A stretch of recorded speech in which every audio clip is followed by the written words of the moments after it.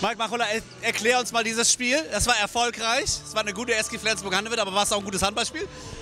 Ja, es ist immer nicht einfach. Also das sind ja, ähm, ja genau diese Spiele, die man zu Hause gewinnen muss. Aber man weiß auch, das werden meistens keine schönen Spiele, weil äh, man hat die Müdigkeit in den Knochen und ähm, ja, von daher äh, haben wir das gemacht, was wir machen müssen und immer gute Abwehr gespielt, guten Torwart, viele Gegenstöße gelaufen und vorne, denke ich, haben wir auch das gemacht, was wir uns vorgenommen haben und von daher ähm, ja, hat jeder eigentlich trotzdem ein gutes Handballspiel gesehen.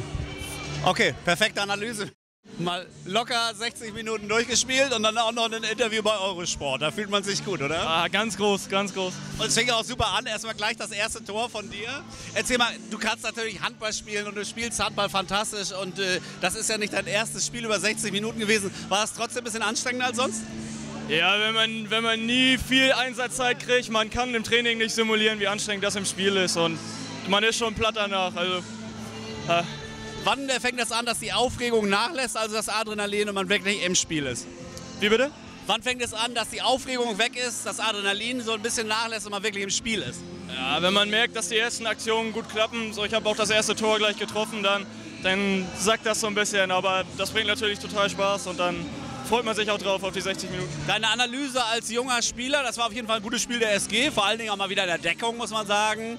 Äh, es war ein erfolgreiches Spiel. Wir haben hier Champions League und wieder einen Sieg eingefahren. Aber war es auch ein gutes Handballspiel? Ja, ich fand, wir haben in der Deckung gut gestanden, haben dann nach vorne gespielt. Sicherlich vorne ein paar Fahrkarten dabei gehabt, aber das bleibt ja nicht aus. Also ich denke, es war in Ordnung. Weiter so, Malte Vogt, unser Youngster, über 60 Minuten im Einsatz. Saugeiles Spiel gemacht. Also okay. bist mit deiner Leistung sicherlich zufrieden. Ja, ich denke schon. Ich denke, insgesamt haben wir eine gute Partie äh, gemacht, haben von Anfang an gezeigt, dass wir her im Haus sind und das über die ganzen 60 Minuten. Das war entscheidend. Und jetzt haben wir ein bisschen Pause, können Kraft tanken, uns vorbereiten auf äh, das Endspiel in Moskau. War sehr, sehr anstrengend die letzte Zeit. Vor allem auch nochmal die Heimfahrt aus Balingen und so. Ich glaube, das ist auch nicht in die Knochen gegangen. Ja, natürlich. Es waren jetzt äh, harte sieben oder acht Tage mit den vier Spielen. Aber ich denke, wir haben das durch viele Wechsel äh, gut kompensieren können. Und wir haben die Aufgabe natürlich äh, optimal gelöst und können uns jetzt die nächste Woche wieder einspielen. Wir haben unseren Youngster eben schon interviewt, Malte. Wie hat er seine Sache gemacht aus deiner Sicht als Erfahrener? Na, sehr gut natürlich. Also er ist so natürlich so ein bisschen ins kalte Wasser geworfen. Ich denke, das ist immer das Einfachste, anstatt äh, tagelang drüber nachdenken muss, als er heute spielt. Und ich denke, dafür hat er das sehr gut gemacht. Äh, Anders Eggert war äh, erkältet bzw. hat richtig Grippe und so. Ich kenne das so, wenn man sich was Schönes vorgenommen hat, entweder ein tolles Handballspiel oder eine Geburtstagsfeier oder so, hat man immer Angst, dass man krank wird. Ist das im Hinterkopf drin, dass ihr euch jetzt alle angesteckt haben könnte?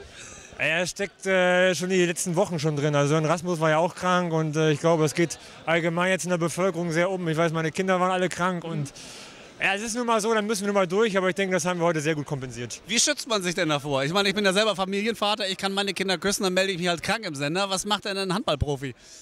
Ja, man kann sich da eigentlich nicht vor schützen. Also entweder man kriegt es, aber nicht. Aber man kann versuchen, sich äh, gesund zu ernähren und äh, hoffen natürlich nicht zu bekommen, aber man kann es nachher nicht ändern. Ich habe mal gehört, Erkältungen kommen von innen. Vielen Dank, Holger Gladendorf.